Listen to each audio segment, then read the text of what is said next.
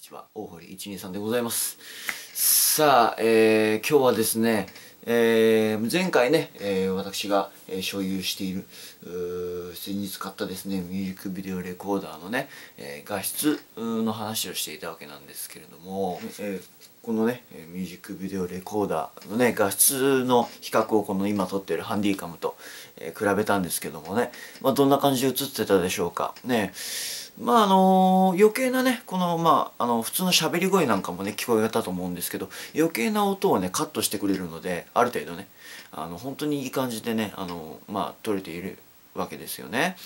でまあ広角で撮れるということで非常に広い範囲で撮ってくれるわけですけども。ちょうど今ねハンディカムとの距離まだ大体1 m ぐらい、え、ですね、えー、同じぐらいの距離で撮りましたけど。さあ、でね今回は、えー、本当にギターで音、ね、ギターを弾いた時の音質なんかの、えー、レビューを比較していきたいと思うんですけどね。まずはこの、えー、ハンディカムでね、えー、どういう音が、えー、出るのかっていうのをねやってみたいと思います。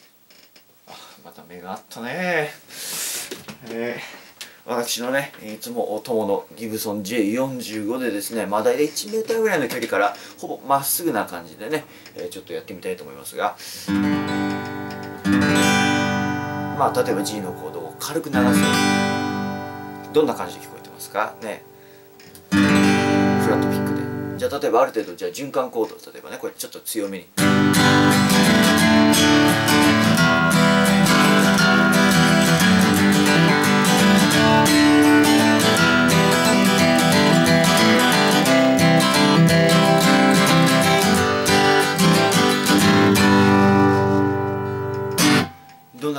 ますかね。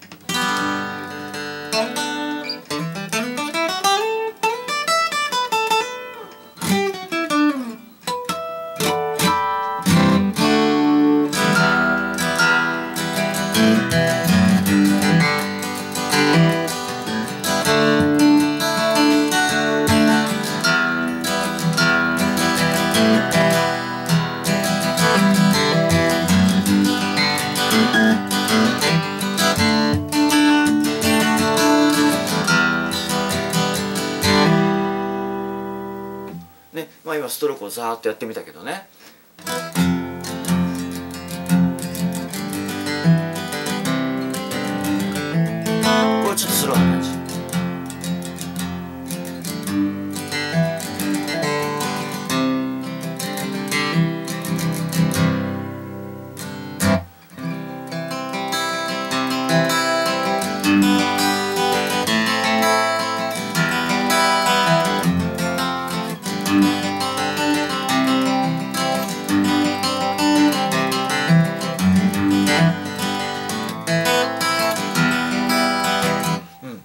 いう感じでね今ねフラットピックで1個ずつ弾いてみたりじゃあ例えばじゃあねちょっと3ピックをつけてアルペジオやってみた時なんかはどうなるのかなっていうのをやってみたいと思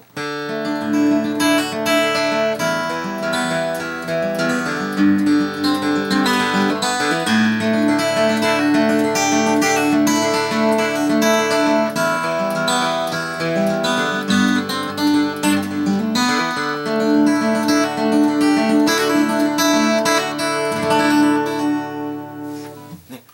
感じでですね、え、聞こえてるんじゃないかなと思うんですけどどうでしょうか。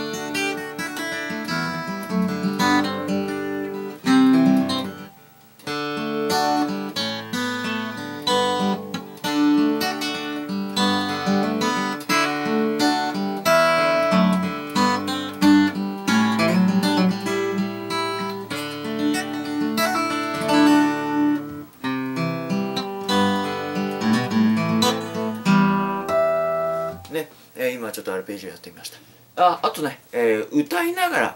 歌いながらやってみるとどうなのかなっていうところ。うん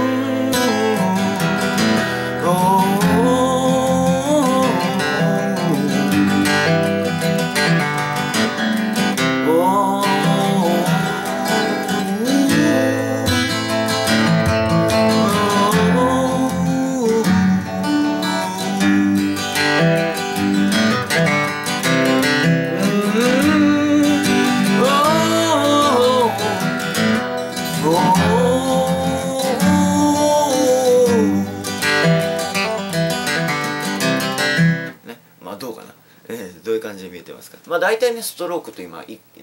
ね、フィンガー、えー、フィンガーピッキングとあとはそのフラットピックを使ったねストロークなんかもやってみました。ちょうど 1m ぐらいの距離から今取ったりしてるんですけどどんな感じですかね。えハンディカムでは今のような感じで聞こえたんじゃないかなと思います。さあ次はね、えー、僕が先ほど手にしてきたこのミュージックビデオレコーダーまさしく我々音楽のための音楽をやってる人のためにあるようなものなんですけどこれはね実はね設定が2パターンあるんでねその2パターンのやつでちょっとねやってみたいと思いますので、えー、じゃあこれに切り替えようと思いますのでね。はい。お楽しみに。はい。ね今あの、えー、撮影しているのは、えー、ミュージックビデオレコーダー HDRMV1 ですけれどもね。えー、もう本当に先ほどね僕が使ったこのハンディカムで撮った映像まあ聞いてもらったギターの音を聞いてもらったものと同じ大体同じ距離 1m ぐらいの距離から、えー、撮ってますけれどもね、えー、前回画質でも画質見え方でもレビューでも言った通り非常にねあの広い範囲で見えてるんじゃないかなと思いますけどどうでしょうか。ね、え、非常に全体すっぽりはまってるしこう弾いてる姿なんかもねすごくちゃんと聞こえてると思うんですけどまずねこれ音質設定が実は2つありましてね。1つは、えー、AAC-LC というまあ比較的まあまあ要するに低音質のものなんですけどまあその分で容量も軽くなったりしてまあシェアには適してるというやつなんですがやっぱりねあの音質がちょっと落ちるっていうのもありますね。今その ASC の LC なんですけれども、えー、低音質のものです。あともう一つはリニア PCM もうこれが一つのソニーの売りだっていう感じのこのビデオカメラの売りだっていう感じのやつなんですけどそっちは高音質のものになります。今から今はね低音質のものなんですけどじゃあこういう感じでね、えー、例えば。今軽く G を流して。ね。どうですか？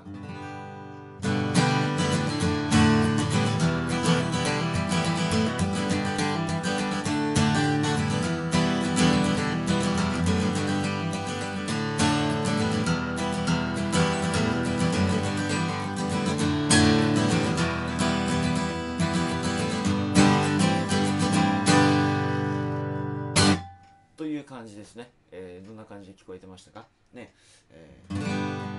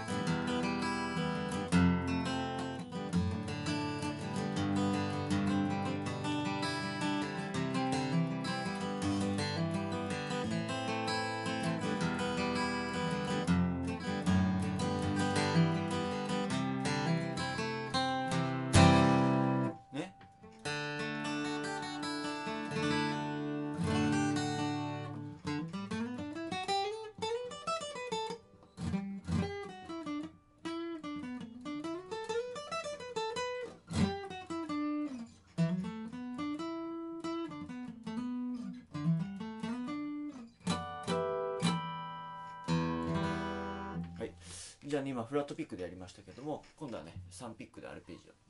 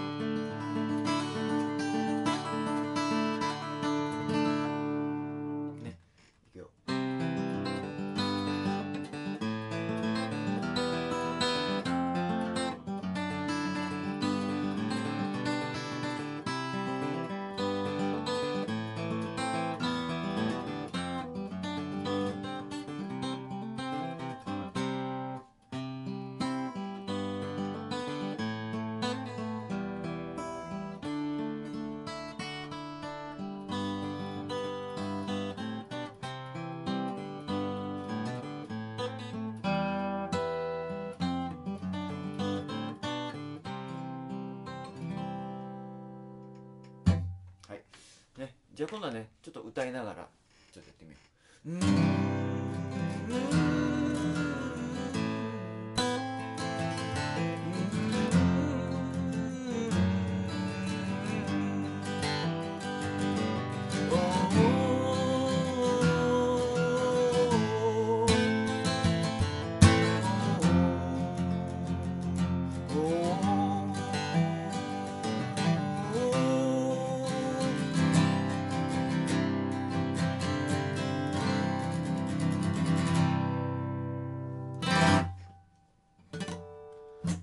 どんな感じで聞こえましたでしょうかね、えー、今のが低音質で撮ったものです。ね。画質はもちろん変わらないんだけどね、えー、まあ音質に関してはこういう感じですね。はい。ね。えー、先ほどはねこのミュージックビデオレコーダー ASLC という音質形式。つまりはまあ低音質なんですけどこれはね音声を重視した、まあ、高音質で撮れる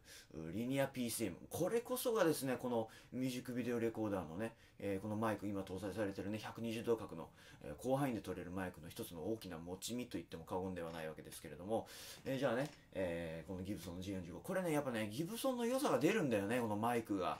まあ、各ギターの個性がすごく出るからやっぱこのアコースティギターの例えばを買ったよと。言った時のサウンドレビューなんかもねこれでできるんじゃないかと思って僕買ったんだけどね。これも見事にこれ予想が的中してまして。このねリニア PCM っていうのがやっぱりこのいいんですよね。もうこれこそもう最強なんじゃないと思うぐらいに素晴らしいわけですけど。じゃあちょっとね今から撮ってみたいと思います。ちょっと聞いてみてください。いきますよ。G を今軽く流してる。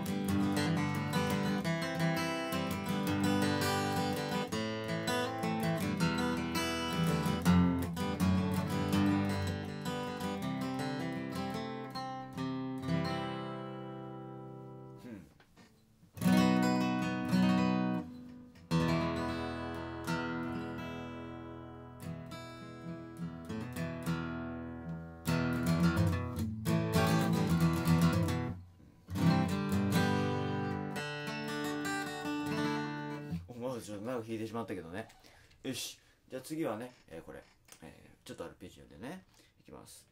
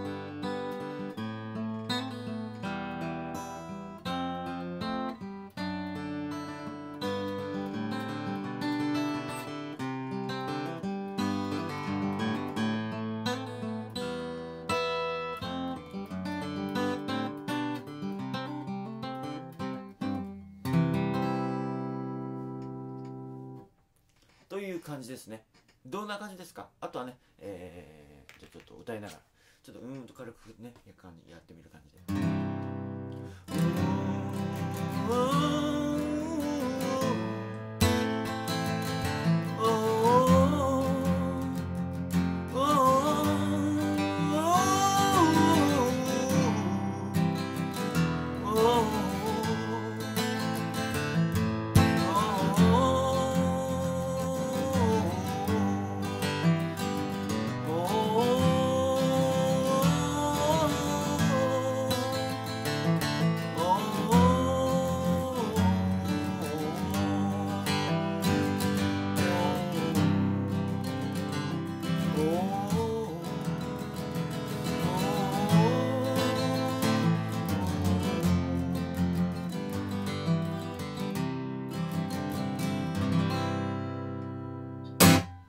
いう感じですね。どうでしょうか。ね、あのね、僕あのー、実はこの間ね、朝ちょっとツイキャスやった時に、あの、PCM でね、撮ってみたの、この高音質で撮ってみたんだけどね、本当にね、あのね、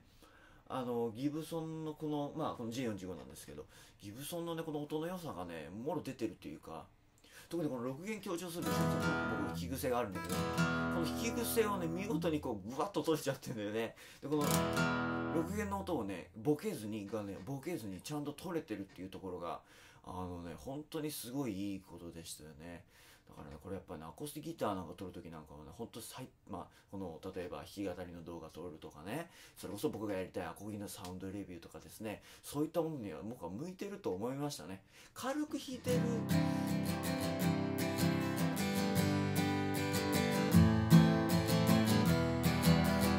いう感じでもね、まあ、素直に撮れるという感じもあると思うんですけどももう本当にねあのよく撮れてるというふうに実感しました。もう本当にこの、えー、この間ね、まあ、昨日動画アップしましたけどあのー、本当にねその PCM レコーダーとハイビジョンカメラの融合ですから買ってよかったな。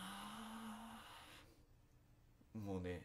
昨日もう本当ねこれ買ってからね何日経つかなもう1週間ぐらい経つんですけど